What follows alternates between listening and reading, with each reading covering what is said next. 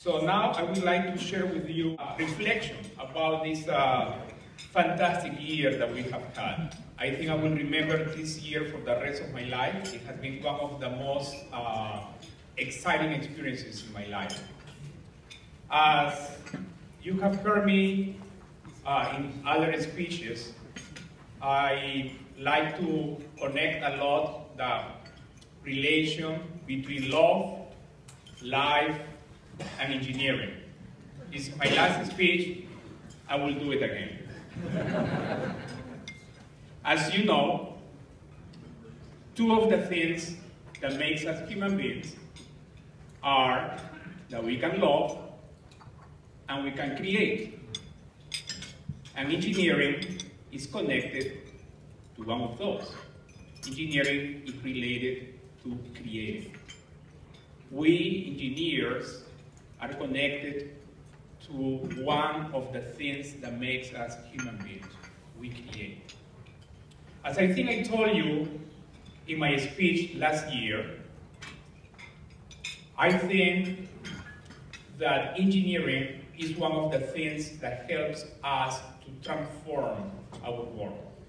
I love engineering with passion, and I think all the members of ASME love engineering the same passion, even more.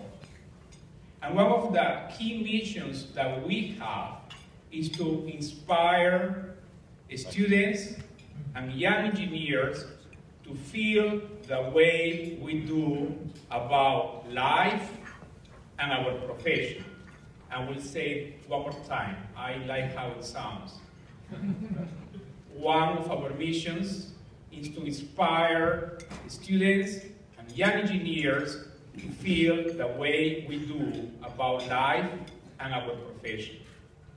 I was a few months ago in Florida in one of the many meetings I have had the honor to attend as president, and I noticed it was a Saturday morning or a Sunday morning, and I saw about 100 volunteers besides all the staff that, that do a fantastic uh, job helping us to fulfill our uh, desire to help the society. And I was wondering, why in earth are these guys, 100 people, on a Sunday morning in this room in Florida when they could be with their families? There has to be something in common among all of them. And I realized that actually one of the things that make us to be members of ASME is that we like to serve. We do this for free. Sunday morning, we were not with the wife, with the children, having a nice breakfast. We were volunteering to try to help the organization. So, I will also share with you what, after I gave a speech in another event, somebody came and he asked me, Julio, everything you're saying is very nice, but how do we go about actually making it work? How do we inspire? It's a very typical question of an engineer, no? How do we go into action? So this year, uh, we have done, I think, a very good number of very good things. And I have had the honor to be a member of a fantastic team, the members of the board and all the staff that under the leadership of Tom Loughlin have been helping us. We have achieved things that I consider to be intergalactic. What is one of them? Is that we have been able, after about 18 months of very hard work, to implement the strategy for our organization. If you remember last year, in my inaugural speech, I was talking about, I presented two pictures. There was a little mountain on the left of the screen and a much larger one on the far right and we were saying we have to transform our organization. We have existed for about 135 years. We have grown a lot. We have about 130,000 engineers in about 150 countries. But in order to be relevant in the 21st century, we have to become a real global organization please listen to my word with my strong accent, a real global organization. And in order to do that, we have to embrace the whole planet. The whole planet is now a small village. So, what have we done in order to complement the effort of the strategy? We took three delegations of the Board of Governors and we visited three, three places in the world. One delegation went to Peru, that's where this beautiful accent comes from, and we interacted with people from Chile and Colombia. We also went to India, we went to Mumbai, Bangalore, and Delhi, and we also went to Beijing. Before going, we had a lot of preparation, and one of the decisions we made before going to these trips was that we were not going into these trips to ask questions for which we already had answers. And we did a very detailed homework. So when we went, we visited, we interacted with people from five communities. That was a constant in all these trips. We met with people from academia, the leaders of ASME in each one of the regions, leaders from industry, uh, the leaders of the professional organizations in each of these countries that were not ASME, and also other kind of uh, leaders. For example, in Peru, we met with the ambassador of the United States in Peru. In China, we met with a National uh, Nuclear Society, the Manufacturing Society, and so on. And we learned a lot. And all of that is gonna be embedded in the strategy. Now let's work, uh, let's talk for a few minutes about the strategy.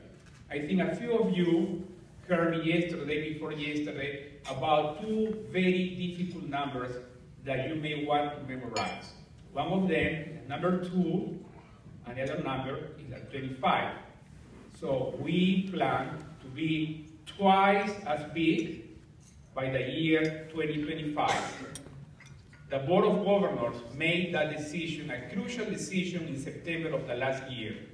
It was not easy but it's a bold decision. That's what is going to help us to generate all the tools and resources we need in order to inspire more students and young engineers around the world. It's a very important tool. We also decided that by 2025, at least 50% of our revenue will come from sources other than codes and standards it still means the codes and standard has to keep growing. Now, how are we going to get 50% of our resources outside codes and standard, which right now is 80%? The challenge is that we have to unleash the creative power of our organization. That is what we have to do in order to reach 2025 with the goals that we are aspiring. And I am pretty sure that we will do it. There are many other achievements that we accomplished during this year, but I have only seven minutes, which I think I have already completed, so I will leave it there. Now, it's very important to emphasize that nothing we have achieved this year has to do with who is the president. It has to do with who we are as an organization. Now, we will pass the baton to the next president. And we are very focused on continuity. Unfortunately, we won't be able to continue with this accent. We will change the accent. but we are doing a very good work on the last name. Do you know how you spell my last name, Guerrero? G-U-E-R-R-E-R-O. So the last two letters are R-O. And the next president is R-O-E.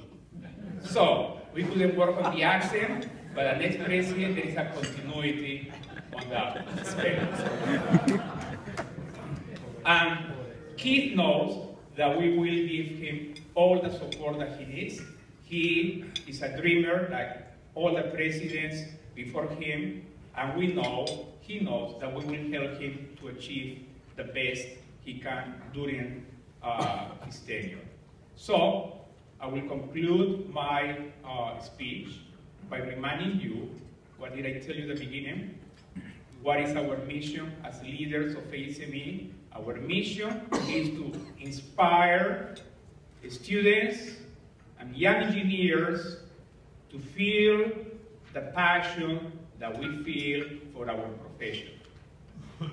That's extremely important, and everything we are doing is in order to provide us with the tools we need to achieve that important role. Thank you very much. It has been a great honor, an intergalactic honor for me to be able to serve during this year. Thank you.